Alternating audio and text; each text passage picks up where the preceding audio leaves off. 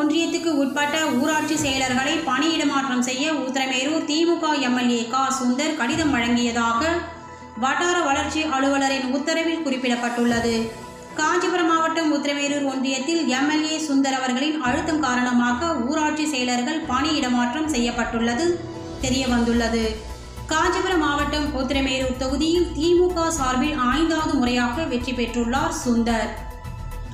இவர் உத்திரமேரூர் ஊராட்சி ஒன்றியத்தில் ஊராட்சி செயலர்களை மாற்றக் கோரி பத்தாம் தேதி வட்டார வளர்ச்சி அலுவலருக்கு கடிதம் கொடுத்துள்ளார்.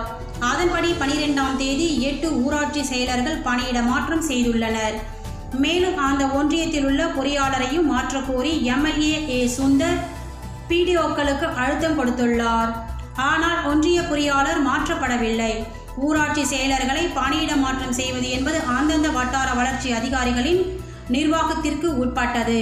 அதில் மக்கள் பிரதிநிதிகள் தலையீடு செய்ய முடியாது. ஆனால் ஆட்சி மாறிய ஒரு வாரத்திலேயே நிர்வாக ரீதியான விஷயங்களில் எம்எல்ஏக்கள் தலையிட்டு அதிகாரிகளை மாற்ற அழுத்தம் கொடுத்து வருவது தற்போது தெரிய வந்துள்ளது